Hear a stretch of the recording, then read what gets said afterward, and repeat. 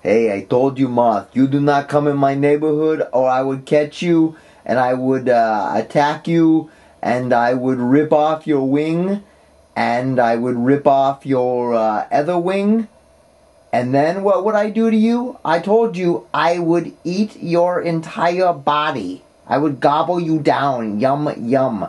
Yeah.